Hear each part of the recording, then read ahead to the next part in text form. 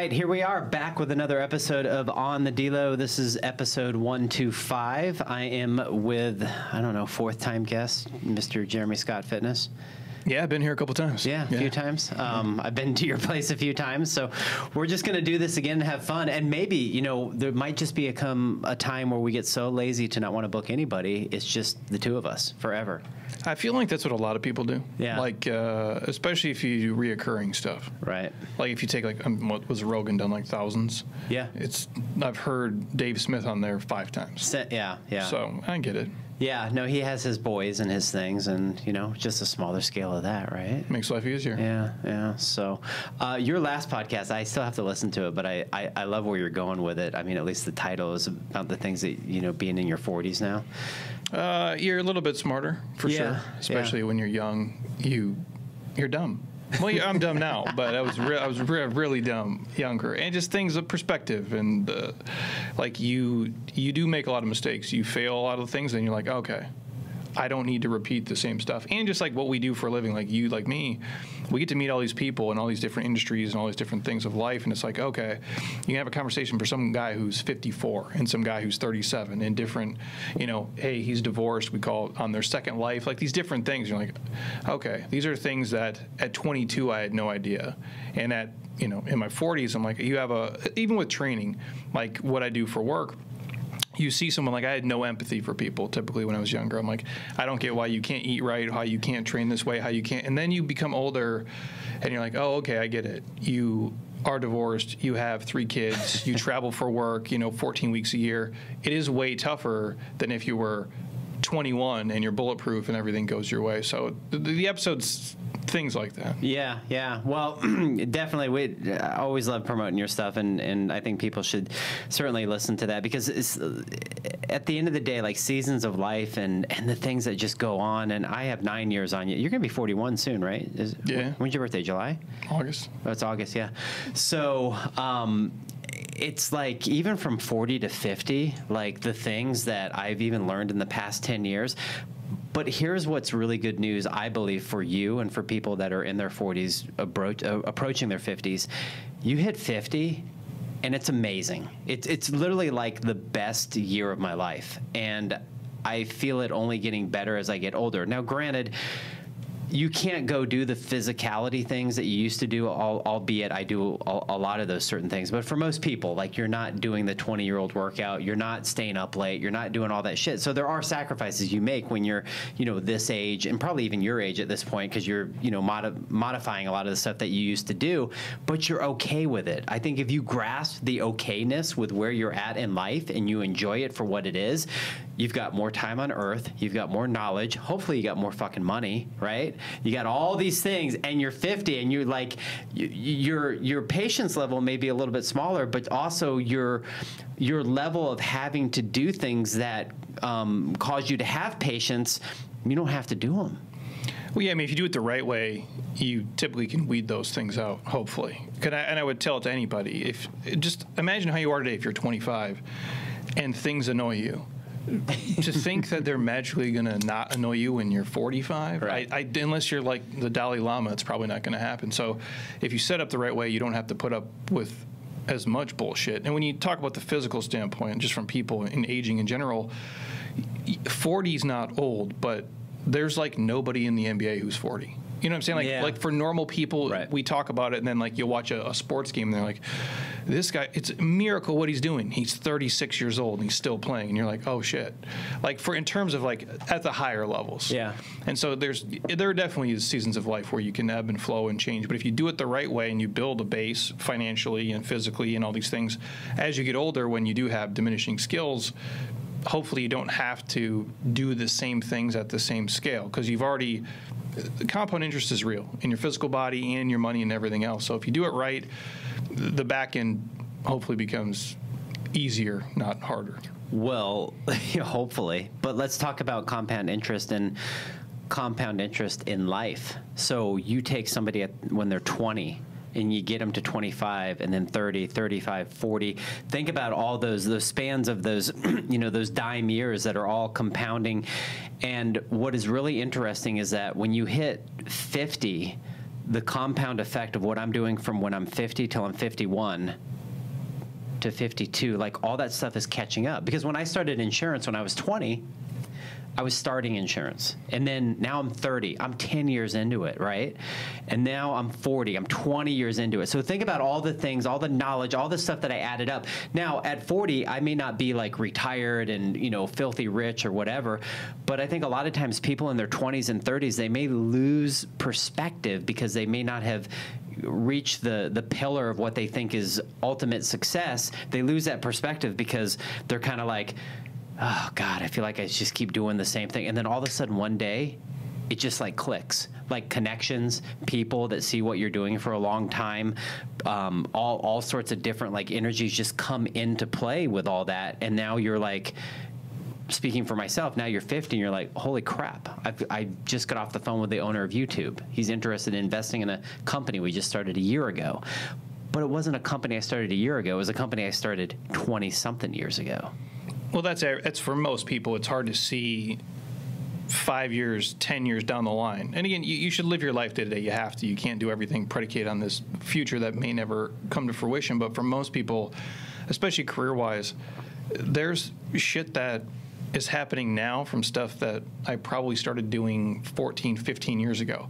Because it's all a, a, culmination of what you've done. Yeah. It's like people just look and say like, "Well, you get this opportunity today." I'm like, "Well, I got that because we sent out, you know, 16,000 emails. Like that's why that happened." And even like this last week, we had uh, three different uh, people come back to our facility, like our brick and mortar part of our business, who have been gone for like six years.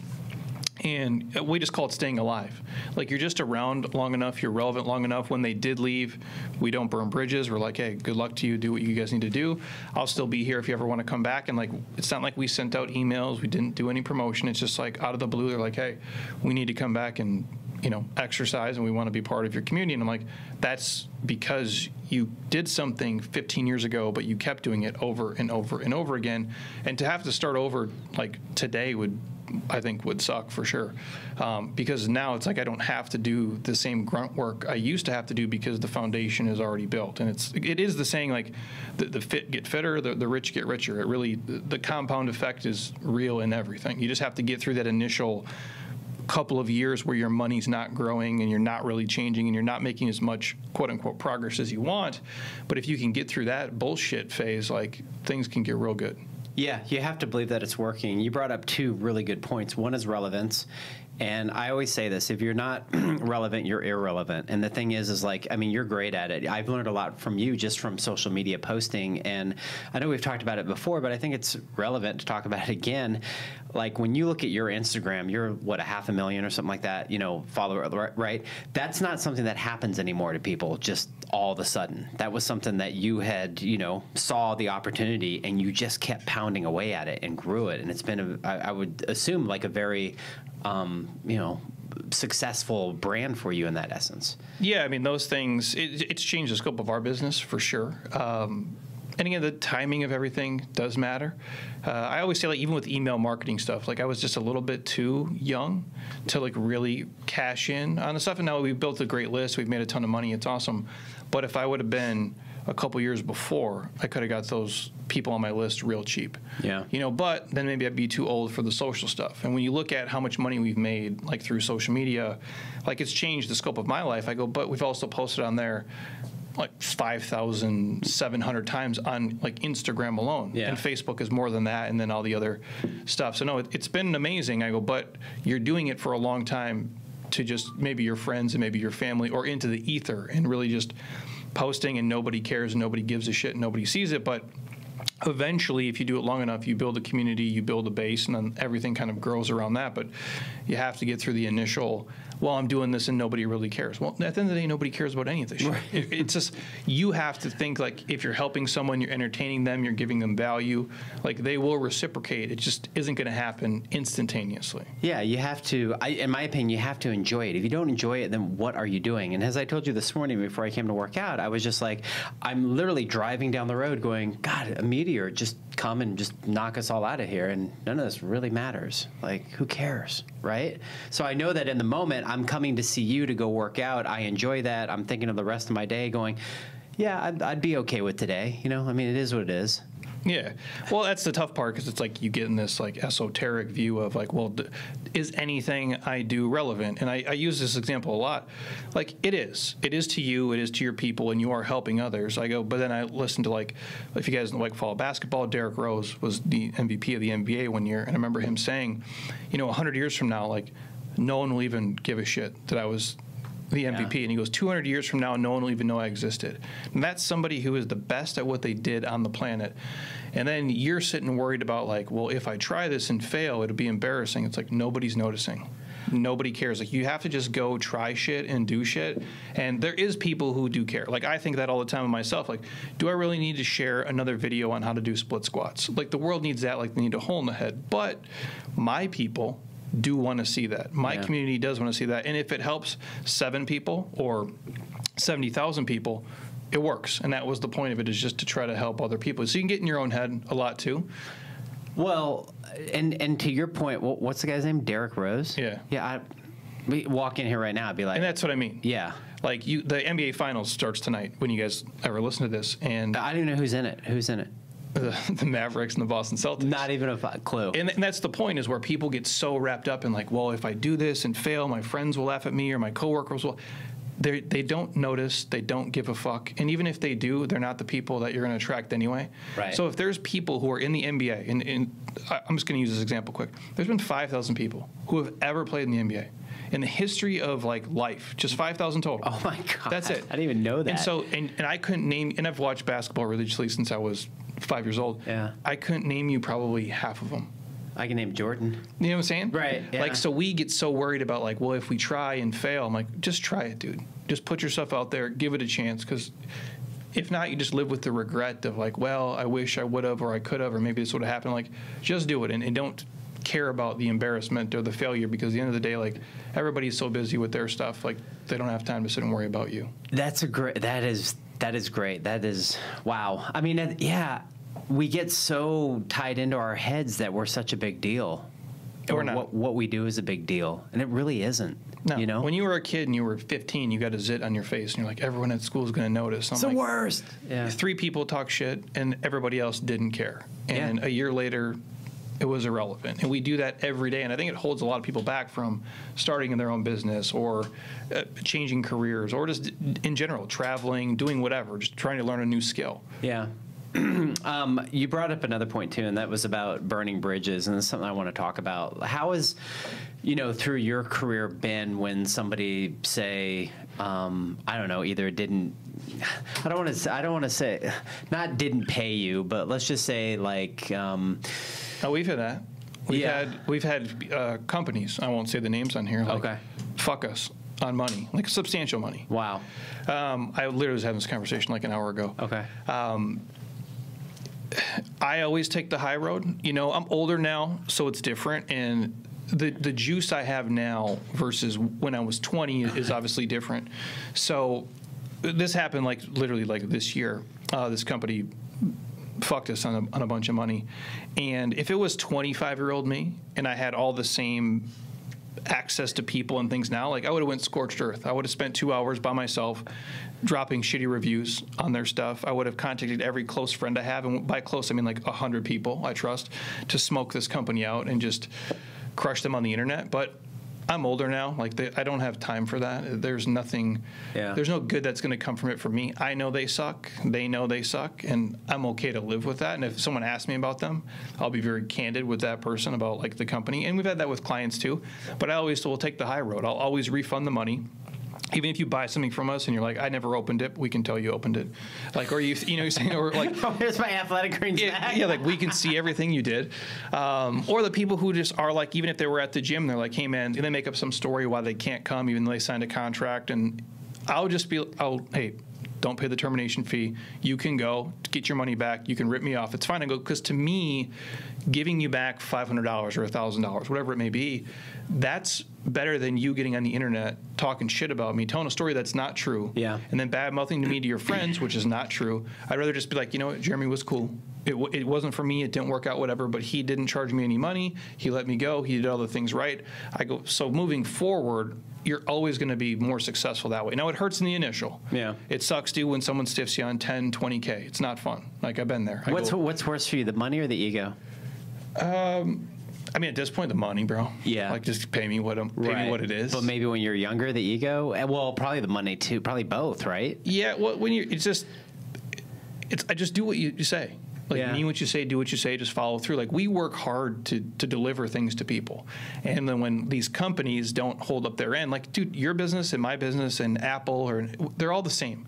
Now ours are smaller, theirs are bigger, but it's made up. Some guy made it up in his fucking garage one day or in his living room or whatever it may be. You guys have the ability to like make things right and do things right. They just don't sometimes. So at this point, it's just like if we signed a contract, just like pay me what you owe. It's a it's more a principle thing. Like is twenty grand going to change my life? No, it's not.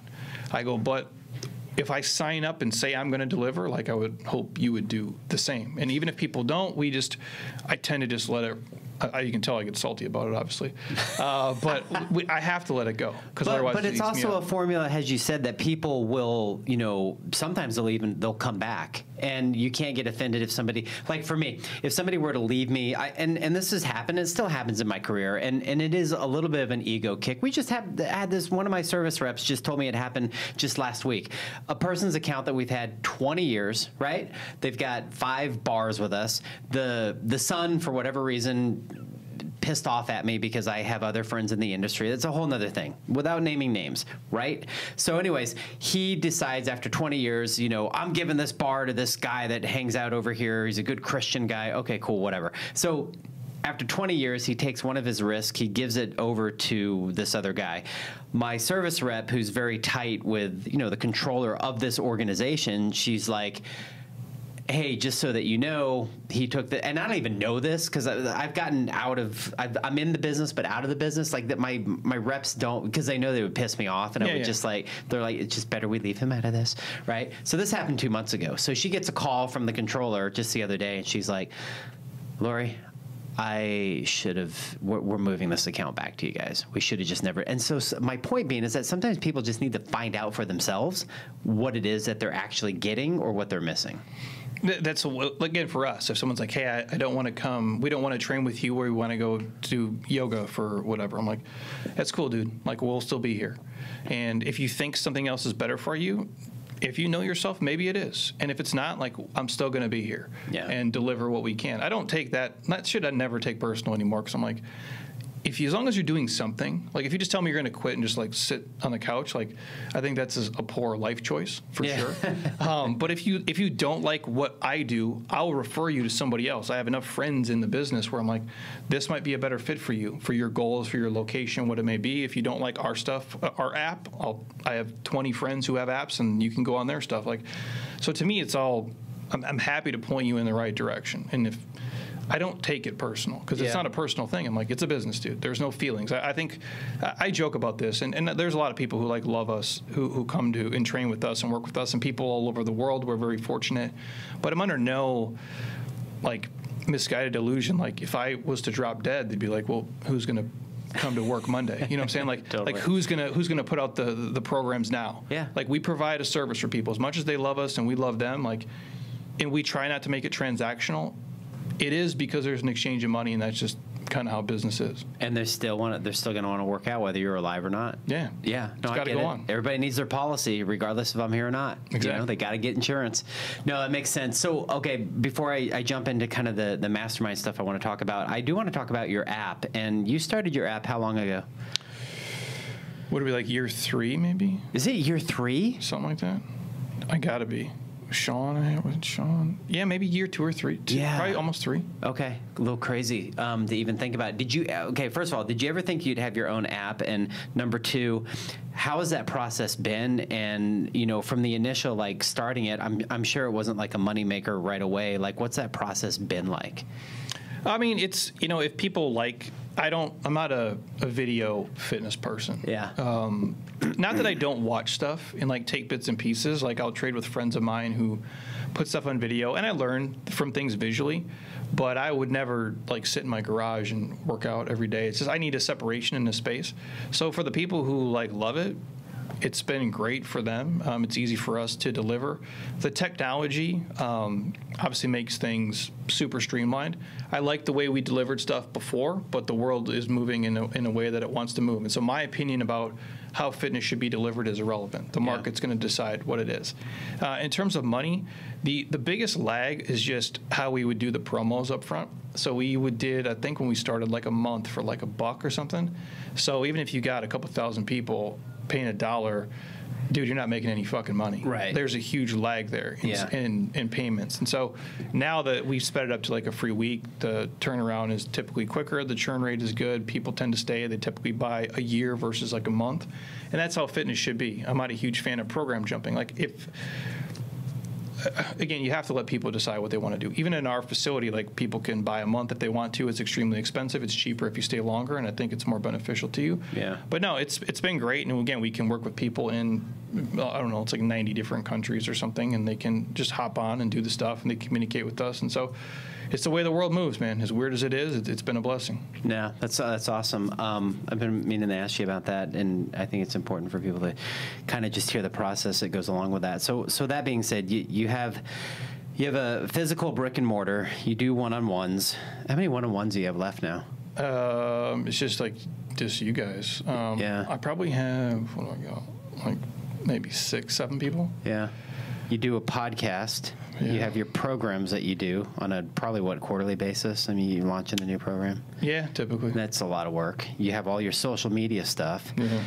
Um, I mean, I yeah, you, you do a lot of stuff. I know, you, and and so at the end of the day, you had came to me a little bit under a year ago, and you're like, "Hey, dude, you know, I'm thinking about doing this mastermind." Obviously, we'd been talking over the last eight years, so you know, we had started this mastermind, and we didn't really kick it off until the beginning of this year. Um, and so, what what have been your thoughts so far about starting it, and and what do you enjoy about it?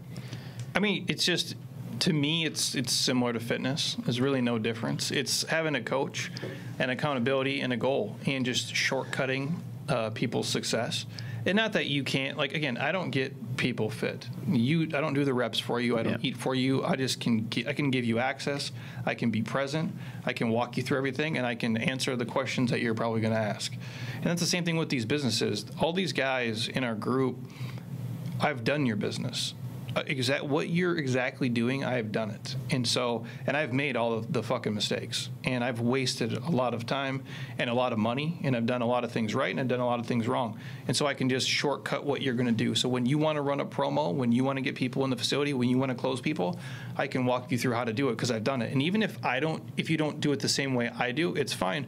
I have ten other friends that have ran your business and done this before, so it's just sharing that knowledge and giving it to somebody and, and instead of having it take them three years to get 100 members it takes them a year Yeah. and so it's just a faster route to do it and it, it's a sounding board i think which is helpful because if i didn't have that if i didn't have you and the friends i have in the industry it'd be harder because we're all just making this up as we go Right. and to have somebody look over your sales copy or your website or your promos or connect you with somebody who's good with AI or SEO or geo fencing, like whatever it may be, Yeah. like I do I do get something from that because I know if you guys just listen to what we're saying, you're going to have more fucking money and a better life overall.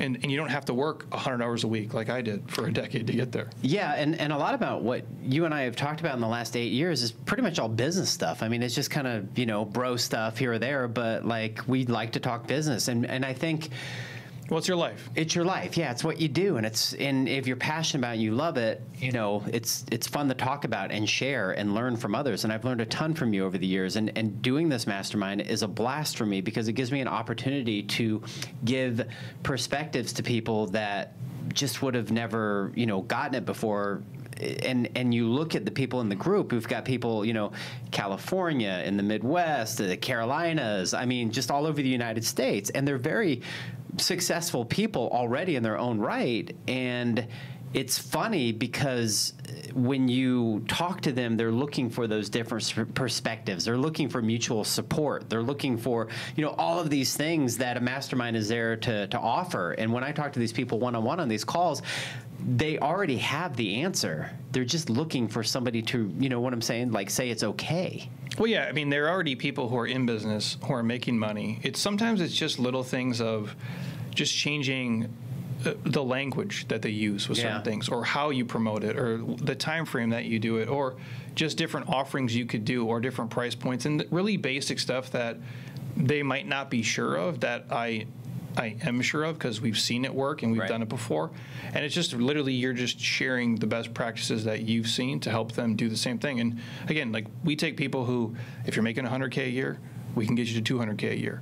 I've take, dude, I've had people, even in my facility, like come work with us who literally are making nothing in fitness and now you're making six figures. Just being in our space, like just taking bits and pieces of what we do. And that's really, again, it's, it's not just about money, but when you're, again, being a millionaire doesn't solve all your fucking life problems. I'm, I'm living proof of it. I go, however, being broke really sucks, dude. That does kind of fuck your life up. So Yeah. if we can get somebody to make a certain amount of money that they feel comfortable with in their life, which can create good work-life balance for them, which makes life easier, which makes life better, like that's the biggest thing that really what we do. We don't just talk about, hey, do this for maximum profit, because to do that, you're going to have to kind of have a, a shitty life Right. if you really are. Yeah. I go, but how much do you need to make? And how much is, you know, too much to where it takes away from your life? And then you can find the sweet spot where it's like, okay, I get to play with my kids, I can travel, I can do this, but I'm also making a shit ton of money as well. I think that's something that you and I have both kind of done and put together that we can give to other people. Because we've, we've both been victim of like, we've worked too much, we've, we've given up too many things. Yeah. And we can echo that to others to not make the same mistake. No, I, I agree. It's a pie. For me, it's a three layer pie. It's a financial piece, it's a physical piece, and it's a mental piece. And that is a lot of what we want to offer to create, you know, some sort of um, significance in their lives to understand that the, all three of these pieces are very important to, you know, get the wheel to turn.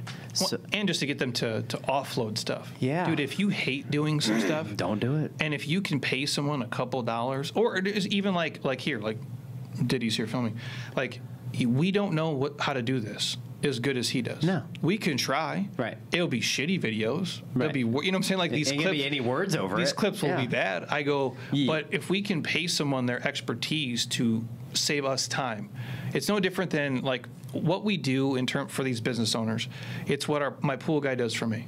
Yeah. It's what my landscaper does for me. I can cut my own grass, and I do. I can clean my pool out sometimes, and I do. They do it way better, Yeah. way faster, way more efficient. And if I had to sit and spend my weekends doing all that bullshit, like my life would suck.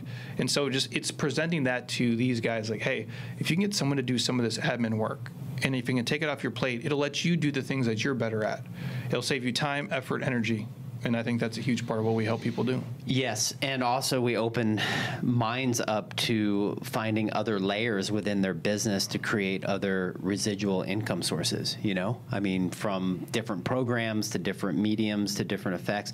On top of that, it's the introductions. I mean, the guest speakers that we've had have been killer, and they pretty much, you know, all been utilized in one way or another, you know, and, and been hired by these people, not because we're selling them anything, just because we're giving them something that they've never seen or heard of before. And they're like, oh, this is kind of cool. I'm going to contact so Is it cool? I mean, they ask us, is it cool that I contact so and so that was on the map? I'm like, yeah, dude, that's why we bring these people on. It's Oh a yeah, I. I do think if there's if you if you ask me like what's the biggest benefit, it's not even talking to me, um, but the people that like we know and Yeah. that we've worked with because we have friends who have worked for giant corporations, who have built multi-million dollar businesses, who work just from home, who like to travel, who don't like to travel, and we can put you in that circle of people. And now you're you know basically one phone call away from anybody you need to talk to for anything in your business, which I do think is super valuable because a lot of times like we don't even know like we you don't know what you don't know. No. And so even just the other day we had a call with uh, Dustin and them who do a lot of stuff with Google Ads and, and tagging and pixeling and like I know that world, but not like those guys do. Right. And so even for me personally, like being on the calls, listening, I'm like, oh, I learned stuff from what these guys are doing in their businesses, and I learned stuff from our network of people. Which again, if I can learn it at year, you know, 20, basically, someone who's in year three of their business, it's going to blow them away. Yeah, for sure, for sure. So to to kind of leave the mastermind portion, you know, because you know, obviously we're we're very much into this. We love the people that come in. We'd love to get you know um, some more people in the in in here. It's a very exclusive group. It's it's just a lot of fun, and you know we have a lot of great resources and tools that we've been able to, um, let's just say, speak or implement or do. And whenever there's questions, you know, we both you know get back to people right away. But I think for the most part, being at the ages that we're at now, um, for us, it's self-satisfying because it feels good to give back. It feels good to kind of share that knowledge and not just be all of a sudden, okay, I'm done working, and then we bury ourselves and nobody gets to have it. Well, yeah, I mean, like, and I know like what it's done for my life. Like, and I've been part of mastermind groups. I've had I've been to every, you know, in our world, every networking event you can go to, and there's certain things I get stuff from, and there's certain things I don't. But in this world of like entrepreneurship and being your own boss, I could not duplicate this in corporate America. Now, that's not my personality type. I'd rather work 100 hours for myself, making you know 20 grand a year, versus working in corporate America making 250k, but I got to travel and go be somebody's bitch. Now, there's no judgment there. That's great for most people. That's just not who I am. And so, if you are anything like me, I can walk you through what I did to Yeah. create a lifestyle and a certain amount of money in a certain way that I can live my life. Now it's whatever time it is today, like 140 on a Thursday. I'm done, dude. Yeah. Like I'm trash. Yeah. I I said that when I walked in here. Like by noon most days I'm garbage. Yeah. But I'm up at four. Yeah. So I do my work and I do it that way. I structure the days in a way that makes sense for me in my life. And as I get older, I'm getting better. We can give that to other people. Yeah. So if you don't want to travel for work and you don't want to deal with the boss and bullshit, and you're willing to work your ass off, like we can basically give you the blueprint of Give how you the to be roadmap. successful. Yeah, for a, a minimal investment, really. I mean, at the end of the day, for, for really for what we're, yeah, I trust me, this is a it's a good deal for people that can get in, and it's limited. So we'll leave it at that. But I, I do I don't want to leave this podcast with ha- not having a little bit of fun with you. So um, if you had the time, what are like three hobbies that you would do in your free time that you haven't done yet? That I haven't done. Yeah, if you had the time, or or if you do have the time, like would you go play more basketball if you could? Or Um, yeah, uh, if I just had a, like a sport court in my backyard, Yeah. I probably would do more. If I if I move, I'd like to get a sport court in my backyard. Okay. Um, literally, it's like the only thing I really give a shit about. when Heather sends me houses, I'm like, is there one there already, and can it fit? Um, I do enjoy that. Uh, I do enjoy firearms, um, so I do go to the range. Um, which is fun for me. Um, I like bowling too. Oh, cool. To be honest, I just shit. don't. I I just don't get to go enough. It's a- Wow. it just takes time. yeah, Uh, and sometimes like that's the part like I need to be better at in my business. But I, we give so much, right? Like Yeah. so you give all this energy, and by the time it's like two o'clock, I'm like, well, I worked out, I did this, I'm sweaty, I'm gross. Like, do I have energy to go do three more physical things? And the answer is usually no. But those would be probably the big three. dude, kick-ass bowling alley right across the street. Like we should just go there. really? Yeah, dude, right across the street here. It's I, fun. I go to like typically like the little ghetto ones, like the Nah, real dude, ones. you got to go to this one over here. It's great. I'll check it out. Um, okay, we, I think you already answered this. Like you're pretty much. I mean, I, I'm the same as you, dude. About 1:40, 2 o'clock, I'm trash. I'm just like, okay, cool. Like after this, I'll do a little. I'll talk to Diddy for a little bit, and then I'll go do guitar lessons. Like when I say that, I know people listen like, "Oh, he doesn't work past No. noon." I'm like, "It's not what I mean." I go, but in terms of like, am I gonna like again? I'm in my 40s, and what I do is physical. Like we maybe would hire a camera guy to come in like at two o'clock and film 50 videos. That shit now has to be done like earlier in the day. Yeah, yeah. I don't have energy or patience to fuck around later, and I can do like emails and texts and things on my phone. But I'm just not super creative and amazing at two o'clock in the afternoon. And if you're listening to this and you're being honest at your corporate job, you're not fucking great at two o'clock even too. Yee, yee, right, Diddy? Um, okay, uh, out to dinner or couch with the dogs? Uh, the couch, bro, the dogs all Yeah. I figured. Do you ever fall asleep without brushing your teeth? Uh, yeah, like I, I can like on the couch or something, Yeah. But not like asleep, asleep. I have a whole like sleep routine. Okay. It's ridiculous. Yeah. If I'm like watching a game or something and I doze off, I guess that would count. But I'll get up. I wear a mouth guard. I do a whole, I do a whole, I do a whole thing. I do a nasal strips. I do the whole shit, man. we got to get a video over at his house. It's great. Um, an hour on the phone or in person?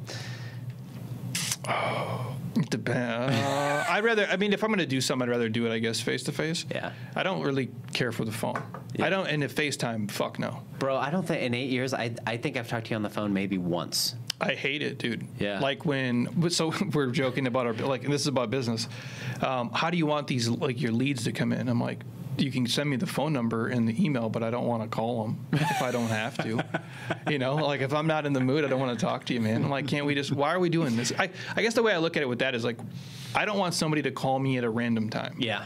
And so if you email me and text me, then it's on my time when I can reply. Right. I just think that's a, a more seamless approach for sure. But if I can talk to somebody in person, it's way better than on the phone or like the FaceTime stuff. I just think it's awkward because I just stare at myself versus. But isn't it the opposite of what the person wants? They want to get a hold of somebody right away.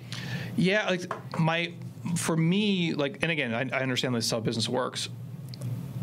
If people get me on the phone, sometimes it's just to get me on the phone. Yeah. And now as I'm sucked into a 16 minute phone call with a tire kicker who has no real no real drive to like pay us money. Makes sense. And so if I do that seven times a week, it's like fuck, I wasted three hours. Yeah. And so someone else has to make the initial call, or you basically have to pay us first for me to get on the phone, which is, is sad. But when you're like a when people see you and they watch you enough, like you know how it is. Yeah. Like you get people who just want to just talk shit to talk Yep. shit, Yep. which is great. But I have a wife and a family and friends that are going to take up a lot of my social energy, and I can't give it out to everybody else. Well, it's the same thing here. People will call in for a quote, and I'll be like, "Yeah, I'm just going to have her call," you know. But we want to talk. No, just vet it, you know. You can't do it. Like you know, No. that's what like again, running a business. It'll drown you if you try to do everything. Yeah. Um, no, it's horrible. Have you ever counted your macros? Uh yeah, like early, early on. Yeah. Like maybe 15 years And you ago. still eat once a day, right? You just eye everything. Yeah, yeah. If I honestly ate like once a day, if I eat twice, my day is a little funky today. If I'm really hungry, like I'll buy food on the way home. Yeah. But I usually just I'll go to natural grocers. Literally, it's my routine. Um, and if I'm really starving, I'll do the Vital Farms does the hard boiled eggs. Oh, yeah. In a little container. They used to have a little salt and pepper packet with them. Which is fucking money, but I'll do the two hard-boiled eggs, a full pack of like the biltong beef jerky, Yeah. which that together is 50 grams of protein, and then like a pack of blueberries. Oh yeah, blueberry. And then I'll go home, I'll do my shit, and then I can make dinner after that. That's typically be the only thing I eat. Just because, again, like, I'm not judging anybody. If you go like to a work lunch and you eat this big ass work lunch and you have like a beer or something, or maybe you just have a big ass work lunch and you go back to the office, you're really productive. No. I mean, seriously? No. Like, if I eat a big ass lunch, dude, I'm out. Like, dead asleep. Yeah. Like, and then if I wake up, I'm, again, I'm worthless. So Uh-huh, yeah. I try to just push it off late in the day. Works for me. No, that's perfect. Um, pizza or sticky buns?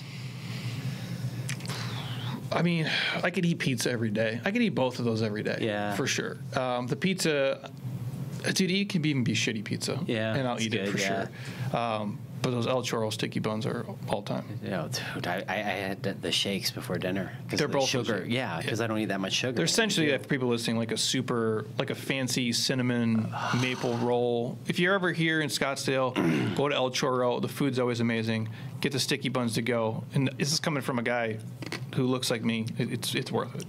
Yeah, and we're not. I'm not gonna bore you with the story, but it's literally like they hand them, they put them on the table before you even eat dinner. And th- that one time they were waiting to do it, and a lot of the older customers were like, "Where are my sticky buns?" You know, they're all getting because they've done it for like a hundred years. The horses used to drink water down around there, and they Oh, give yeah. it with coffee to the.